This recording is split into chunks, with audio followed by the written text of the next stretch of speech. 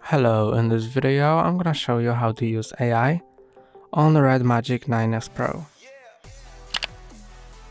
I'm gonna show you two ways uh, and the first one is uh, ChatGPT. You can use AI using ChatGPT and to do it go to Play Store and search for an app named ChatGPT. ChatGPT is a powerful tool that will allow you to create uh, to create different uh, different texts in different forms with AI. Click on install. Uh, for example, stories, poems, uh, emails, uh, school assignments, and much more. Click on open after it's installed. Then you can continue with Google, sign up with email or login if you already have an account I'm gonna continue with Google, continue, and continue. And now you can see that you can ask it for um, different things. And uh, since recently, you can, uh, in a free version of the app, you can create two uh, images uh, daily for free. Uh, for example, create a painting in Renaissance style. Um, and uh, I'm gonna check it.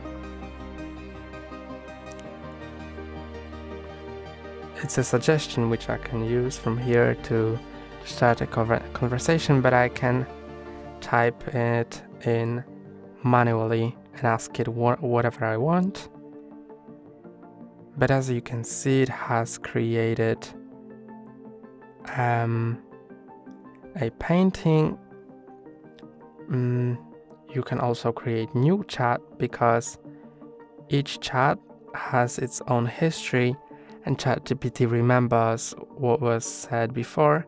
So if you want to create a chat on different topic in ChatGPT, then you can click here and create new chats. Mm.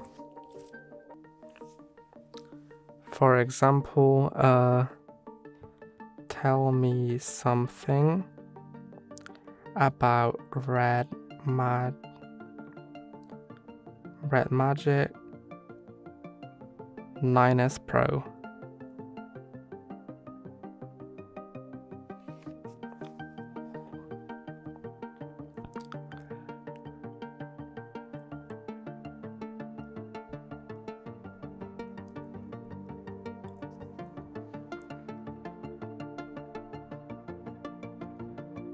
and you can see it writes an answer in real time using AI.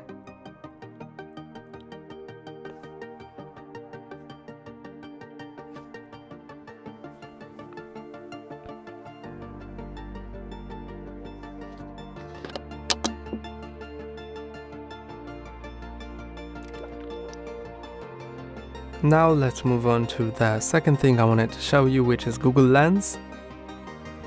And to use Google Lens just click on this icon on the Google widget this camera icon then here open camera while using the app. And now you can take a picture of something and it will search for it on the internet. For example this plant and it searches for it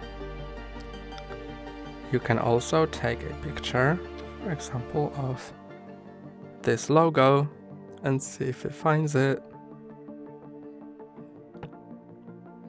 It does find it here.